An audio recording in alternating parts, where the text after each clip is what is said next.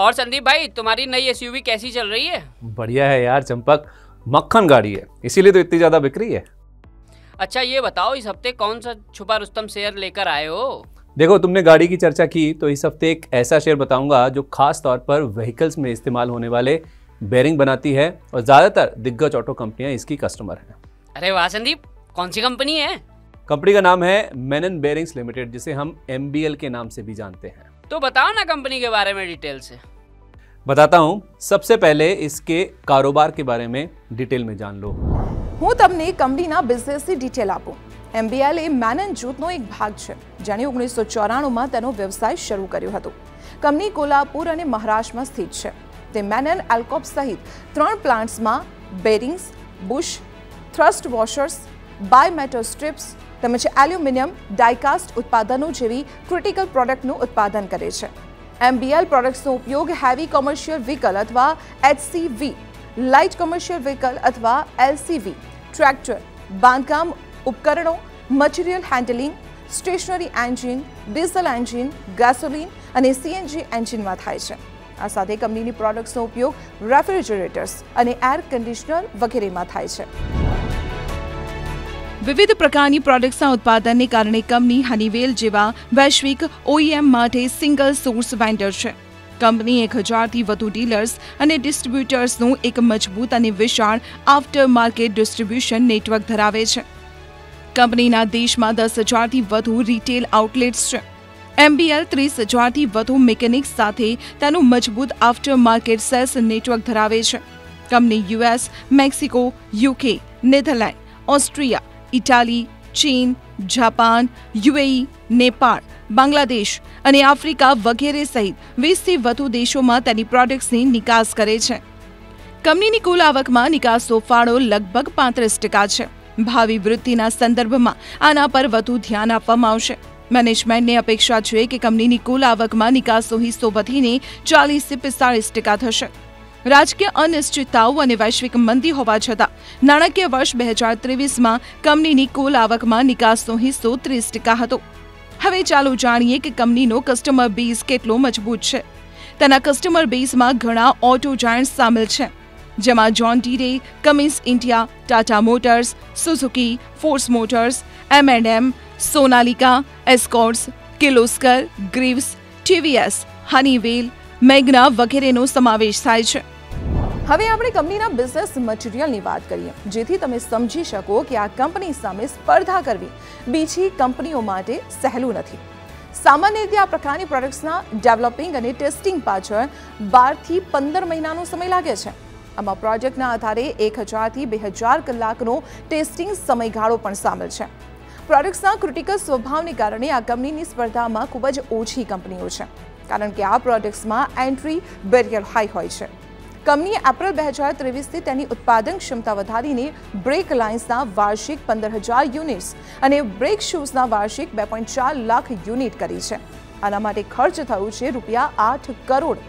ભારે commercial vehicle અથવા એસસીવીને દર ચાલીસ હજાર કિલોમીટર પછી અથવા વર્ષમાં ચાર વખત બ્રેક લાઇનિંગ બદલવાની જરૂર પડે છે. ખાણકામની કામગીરીમાં વપરાતા વ્હીલ્સને વર્ષમાં છ થી આઠ વખત બદલવાની જરૂર પડે છે. કંપની સ્થાનિક બજારમાં રૂપિયા પચીસ કરોડના બ્રેક લાઇન્સ અને બ્રેક શૂઝના વેચાણની અપેક્ષા રાખે છે. બાદમાં પ્રોડક્ટ્સની નિકાસ પર પણ ધ્યાન કેન્દ્રિત કરવામાં આવશે, જેમાંથી કંપનીને અઢાર ટકાના વર્કિંગ માર્જિનની અપેક્ષા છે. આ કંપની ફાઇનાન્શિયલ યર પચીસ સુધી બે વર્ષમાં ક્ષમતા વિસ્તરણ પર રૂપિયા ત્રીસ કરોડ કરવાનું આયોજન ધરાવે છે. આ મૂડીનો ચાલીસ ટકા હિસ્સો બી મેચોલની ક્ષમતા વધારવા માટે ખર્ચવામાં આવશે. સાહીઠ ટકા મૂડી એલ્કોપ વિભાગની ક્ષમતા વધારવા માટે ખર્ચવામાં આવશે. નાણાકીય વર્ષ બે હજાર ત્રેવીસમાં એલકોપ ડિવિઝને કંપનીના કુલ વેચાણમાં છવ્વીસ ટકા ફાળો આપ્યો હતો, જે રૂપિયા સત્તાવન કરોડ હતો. તેણે નિકાસમાં પણ મોટો ફાળો આપ્યો હતો. ભવિષ્યમાં આમાં વધુ વધારો થવાની ધારણા છે. એલકોપ ડિવિઝનમાં સ્થિરતાએ બાય મેજોર પરની નિર્ભરતામાં ઘટાડો કર્યો છે. અને બિઝનેસને જોખમ ઘટાડવામાં મદદ કરી છે कामकाजी मुनाफे के मार्जिन है ये दूसरे ऑटो कंपोनेंट्स के कंपैरिजन में बहुत बढ़िया है करीबन 25-26 परसेंट के कामकाजी मुनाफे के मार्जिन पे ये काम करते हैं जो बहुत ही बेहतरीन है और कोई दूसरे ऑटो कंपोनेंट कंपनी में हमने ये देखा नहीं है तो ओवरऑल ऑटो कंपोनेंट प्ले है जैसे ऑटो कंपोनेंट कंपनीज के वॉल्यूम्स बढ़ेंगे तो इस कंपनी को भी फायदा होना चाहिए समझ गया संदीप तुमने काफी विस्तार से कंपनी के कारोबार के बारे में बताया लेकिन कंपनी का वित्तीय प्रदर्शन कैसा है ये भी तो बताओ जरूर बताऊंगा भाई कारोबार बताया तो बिक्री के आंकड़े और मुनाफा भी बताऊंगा बस थोड़ा सा चिल मारो यार चंपक વર્ષ મુશ્કેલીઓથી ભરેલું હોવા છતાં ફાઇનાન્શિયલ યર બે હજાર ત્રેવીસમાં કંપનીનું નાણાકીય પ્રદર્શન ઘણું મજબૂત રહ્યું છે નાણાકીય વર્ષ બે હજાર ત્રેવીસમાં આવક લગભગ અગિયાર ટકા વધી હોવા છતાં વર્કિંગ લેવલ અને નફામાં અગાઉની તુલનામાં વધુ વૃદ્ધિ જોવા મળી છે નફો બત્રીસ ટકા વધીને રૂપિયા તેત્રીસ કરોડના આંકડા પર પહોંચી ગયું છે. ફાઇનાન્શિયલ યર બે હજાર ત્રેવીસના ચોથા ક્વાર્ટરમાં કંપનીનું નાણાકીય પ્રદર્શન ઘણું સુધર્યું છે. ચોથા ક્વાર્ટરમાં નફામાં વૃદ્ધિ સમગ્ર વર્ષની સરખામણીમાં વધુ છે. કંપનીએ લગભગ ચોથા ક્વાર્ટરમાં રૂપિયા નવ કરોડનો નફો મેળવ્યો છે. હવે ચાલો સમજીએ કે મુશ્કેલ વર્ષમાં પણ કંપનીએ આટલું સારું પ્રદર્શન કેવી રીતે કર્યું? વાસ્તવમાં એમબીએલનું વેચાણ લગભગ સો ટકા મશીન સ્વરૂપે છે. આ કારણે તે પોતાને ચોવીસથી પચીસ ટકાના આકર્ષક એબિટા માર્જિનની ખાતરી આપે છે આ ઉપરાંત અઠ્ઠાણું ટકા વેચાણ ઓઈએમ કંપનીઓને સીધા સપ્લાયમાંથી પ્રાપ્ત થાય છે તે ઓઈએમ ગ્રાહકો પાસેથી સીધા અને નવા ઓર્ડર મેળવવામાં મદદ કરે છે अरे चलो मान लिया संदीप भाई कि कंपनी का कारोबार मजबूत है अच्छा पैसा बना रही है लेकिन इसके कारोबार में कुछ चुनौतियां भी तो होंगी वो तो तुमने कुछ बताया ही नहीं बिल्कुल भाई होंगी, ज़रूर बताऊँगा तुम्हें, चुनौतियाँ भी बताऊँगा। तुम जरा ना ध्यान से सुनना। चुनौतियाँ, पहली बात तो ज़्यादातर जो 75 80 परसेंट जो बिज़नेस आता है, वो कमर्शियल व्हीकल सेगमेंट से आता है, दूसरा इंडस्ट्रियल सेगमेंट से आता है तो अभी ज़्यादा जो डिपेंडेंस है कंपनी का, वो कमर्शियल व्हीकल सेगमेंट पे है।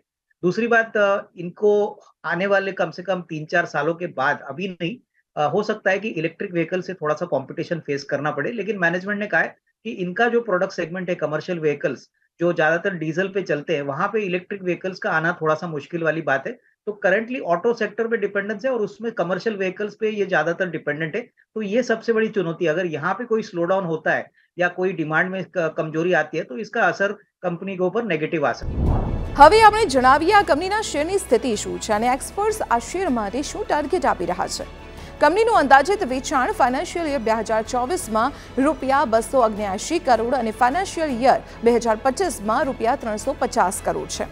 તે જ રીતે અંદાજિત નફો અનુક્રમે બેતાળીસ કરોડ અને ચોપન પોઈન્ટ છ કરોડ છે. આંકડાઓ મુજબ શેર દીઠ કમાણી અથવા ઈપીએસ ફાઇનાન્શિયલ યર ચોવીસ રૂપિયા સાત પોઈન્ટ પાંચ અને ફાઇનાન્શિયલ યર પચીસમાં રૂપિયા નવ પોઈન્ટ પંચોતેર થવાની ધારણા છે. જોકે પંદર એક્સ અને બાર એક્સ મલ્ટિપલ મુજબ તેના શેરનું પી વેલ્યુએશન એકદમ આકર્ષક છે. એવી ઓબ્લિક એબિટાના આધારે પણ ટેન એક્સ અને એચ એક્સના મૂલ્યાંકન ગુણાંક આકર્ષક છે. મજબૂત નાણાકીય ટ્રેક રેકોર્ડ મજબૂત બિઝનેસ ડોમેન પ્રબળ બજાર હિસ્સો અને બ્રિક્સ બિઝનેસની સંભાવનાઓને ધ્યાનમાં લેતા સરેરાશ ઈબી ઓબ્લિક એબિટા ગુણાંક તેરથી ચૌદ એક્સની અપેક્ષા રાખી શકાય. તેનું શેર તેની બાવન સપ્તાહની ટોચે ટ્રેડ થઈ રહ્યું છે. આ વર્ષે તેમાં પાંત્રીસ ટકા અને એક વર્ષના ગાળામાં અડસઠ ટકાનો વધારો થયો છે આથી જો આ શેરનું મૂલ્ય ઘટે તો ખરીદવું જોઈએ हमारा मानना है कि अगले दो साल में कंपनी कम से कम साढ़े तीन सौ पौने चार सौ करोड़ का रेवेन्यू कमाएगी आने वाले साल में हमको लग रहा है कि कम से कम forty two forty three rupees की अर्निंग्स आएगी और कंपनी की इक्विटी बेस बहुत छोटी है छह करोड़ की इक्विटी है तो उस हिसाब से हमको लग रहा है कि करीबन साढ़े सात आठ रुपए की अर्निंग आएगी और अगले साल that is F Y twenty five के लिए दस रुपए की अर्निंग आएगी इस कंपनी को हमने ईवी टू इबिटा पे वैल्यू की है। करीबन नौ का ईवी टू इबिटा का वैल्यूएशन निकल रहा है। ऐसी कंपनी जहाँ पे कंपनी का मार्जिन 25-26 परसेंट है जहाँ पे आर 25 परसेंट है रिटर्न ऑन इक्विटी 25 परसेंट है इसको कम से कम 13-14 का ईवी टू इबिटा मिलना चाहिए। हमारा मानना है अगले 12 महीने में ये कम से कम 200-210 तक जाने का पोटेंशियल रखता है। तो कुछ समझ में आया चंपक? कैसा लगा आज का ये शेयर हाँ संदीप भाई कंपनी काफ़ी मज़बूत लग रही है। अब तुमने इतने विस्तार से कहानी बताई है तो इसमें निवेश कर ही देता हूँ कुछ पैसे मैं भी बना लूंगा